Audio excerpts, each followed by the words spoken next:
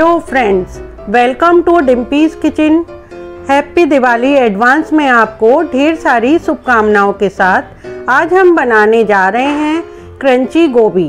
Crunchy गोभी सर्दियों के मौसम में बनाइए क्योंकि अच्छी गोभी आती है।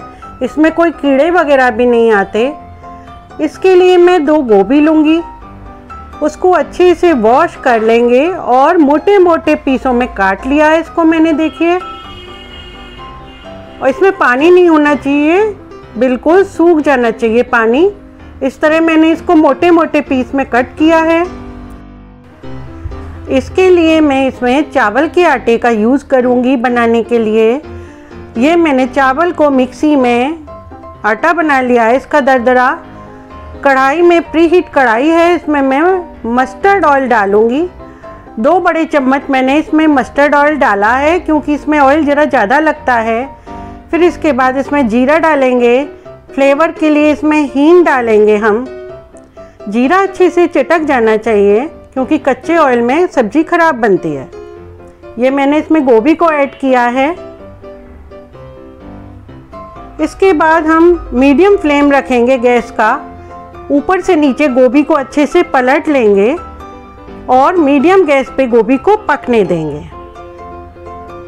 इसमें हम रेड चिली पाउडर ऐड करेंगे टर्मरिक पाउडर ऐड करेंगे थोड़ा, और इसमें धनिया पाउडर को अच्छे से डालेंगे, क्योंकि धनिया का स्वाद सब्ज़ी में अच्छा आता है। सारी सब्जियों को पलटते रहेंगे बीच बीच में, गैस को मीडियम ही रखें। ये देखिए, इसमें हम एक चम्मच सॉल्ट डालेंगे, क्योंकि गोभी मेरी ज़्यादा है, आप अपने टेस्ट के हिसाब से डालें। और पाँच से सात मिनट मीडियम फ्लेम पर हम गोभी को पकाते रहेंगे। लगभग मेरी गोभी पक रही है, इसको हम पाँच मिनट मीडियम गैस पे पकने देंगे, जिससे मेरी गोभी अच्छे से पक जाए। इसके बाद हम इसको क्रंची गोभी बनाने के लिए राइस फ्लावर डालेंगे। चार बड़े चम्मच मैंने इसमें राइस फ्लावर डाला है। आप अपने टेस्ट के हिसाब से कम या ज़्यादा कर सकते हैं। इसके बाद हम इसको राइस फ्लावर को ऊपर से नीचे अच्छे से पलट देंगे, जिससे सारी गोभी में अच्छे से ये मिक्स हो जाए। अब क्योंकि राइस फ्लावर्स भी हमारा थोड़ा कच्चा रह सकता है, इसलिए हम इसको थोड़ा सा ढक के कवर करके तीन मिनट, चार, तीन मिनट से चार मिनट तक इसको हम ढककर पकाएँगे, जिससे हमारा राइस फ्लावर जो हमने डाला है, अच्छे से पक जाए। ये देखिए बिल्कुल मेरी क्रंची गोभी बनकर तैयार हुई है एज अ स्नैक के रूप में।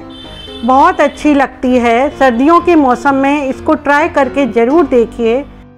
इसमें क्रश करके कसूरी मेथी ऐड करेंगे हम और चॉप किया हुआ हरा धनिया डालेंगे हम।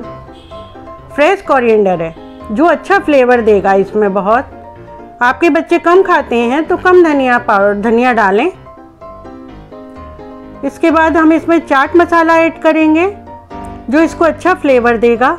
और इसमें हम मैगी मसाला डालेंगे, जो बाज़ार में मिलता है, जो बच्चों को खाने में भी अच्छा लगता है। मैगी मसाला डालकर आपके बच्चे सारी क्रंची गोभी चट कर जाएँगे। इस तरह आप ज़रूर ट्राई करिए सर्दी के मौसम में। ये मेरी क्रंची गोभी तैयार है, ऐसा स्नैक आप इसे पराठे के साथ, रोटी के साथ चावल के साथ खा सकते हैं। मेरा वीडियो अगर आपको पसंद आए तो आप इसे शेयर करें, लाइक करें और सब्सक्राइब करना ना भूलें। नहीं किया है तो।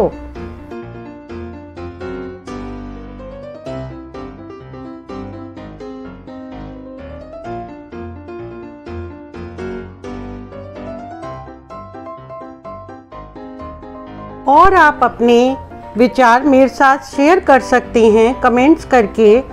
आपको मेरी क्रंची गोभी या और अदर रेसिपी कैसी लगती हैं कमेंट करके ज़रूर बताएँ। और आप किस तरह की रेसिपी वॉन्ट करते हैं, ज़रूर बताइए। मैं ट्राई करूँगी, आपको उसका वीडियो दिखाऊँगी। Thank you